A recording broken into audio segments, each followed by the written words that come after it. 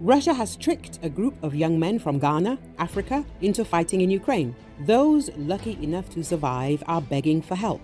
The story about the incident was aired on the Ghanaian channel 3 News. Young Ghanaians were lured to the Russian Federation with the promise of work in security and agriculture with a salary of 400,000 rubles or about $4.3 thousand.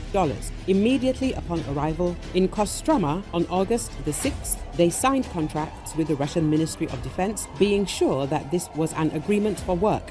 However, the reality turned out to be terrible. The Africans were immediately sent to the front without any training. They are now under constant shelling somewhere on the front line near occupied Donetsk. Of the 14 people, only three managed to survive. Residents of Ghana managed to contact journalists from their country. We are suffering. We are begging you. Please save us. We thought we would work here as security guards. Help, they say in the video. It is noteworthy that the young people were recruited by their famous compatriot named Abraham. He took 130,000 rubles, or about $1.4 thousand, from each of them for help. In addition, the young people paid for their visa and flight to Russia themselves. Recall the Russian military has ramped up its recruitment of mercenaries from Africa to support its frontline operations in Ukraine. This is according to Kiev's military intelligence service, adding that most foreign mercenaries are recruited from Rwanda, Burundi, Congo, and Uganda. A sign in bonus of $2,000 is promised for these foreign recruits in exchange for their agreement to become part of a special unit as assault troops. They are also said to receive a monthly allowance of $2,200 on top of health insurance and Russian passports for them and their families. The existence of African mercenaries in the Russian military has been noted since 2023 when the so called Russian Africa Corps was created.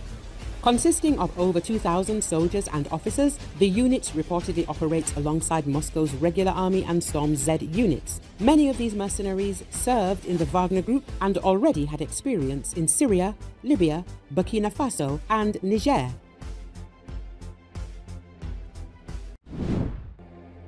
Russia has threatened a missile strike on Strasbourg if Ukraine is allowed to fire Western weapons at Russian territory. This was stated by the State Duma Speaker Vyacheslav Volodin, commenting on the news that the European Parliament called for lifting restrictions on Ukraine's strikes on Russian territory. If this happens, Russia will give a tough response using more powerful weapons. No one should have any illusions about this. The State Duma insists on this. Volodin said Moreover, the Russian politician asked two public questions to the MEPs. He wondered whether they had consulted voters before voting on this decision and whether Europeans wanted war to come to their home. Before making such a decision, we should have remembered the lessons of World War II. Then, 27 million Soviet citizens died in the fight against fascism.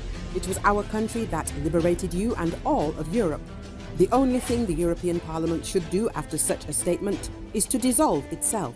For reference, the Sarmat missile's flight time to Strasbourg is 3 minutes and 20 seconds. Volodin added.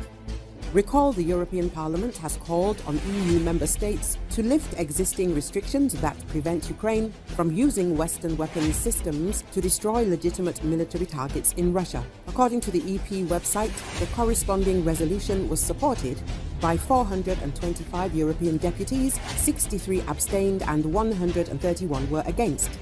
The text of the resolution states that without lifting the current restrictions, Ukraine cannot fully exercise its right to self defense and remains vulnerable to attacks on its civilian population and infrastructure. The European Parliament stressed that insufficient supplies of ammunition and restrictions on their use create a risk that previous efforts will be nullified. MEPs also expressed regret over the reduction in bilateral military aid to Ukraine from EU countries. MEPs reiterated their call on EU member states to fulfill their commitments made in March 2023 to provide Ukraine with 1 million shells and to speed up the supply of weapons and air defense systems, including German Taurus missiles. In addition, the EP reiterated its position that all EU countries and NATO allies must collectively and individually commit to annually allocating at least 0.25% of their GDP for military support to Ukraine.